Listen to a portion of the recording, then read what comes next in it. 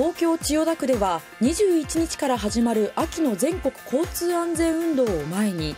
人気アイドルグループももいろクローバー Z や俳優の加山雄三さんらが交通安全を訴えました。交通安全運動頑張ろ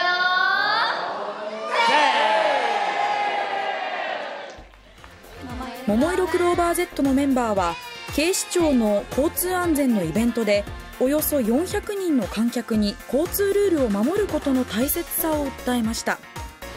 一方4月に運転免許を返納したという俳優の加山雄三さんは高齢の来場者に免許証の返納を勧めました。